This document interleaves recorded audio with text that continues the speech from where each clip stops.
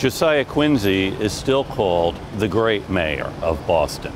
Elected to six terms in the 1820s when terms were one year long, Quincy began the process of modernizing Boston, moving the prison and the workhouse to South Boston, newly acquired for the town of city of Boston, and also improving Faneuil Hall, Quincy Market, building a modern marketplace there.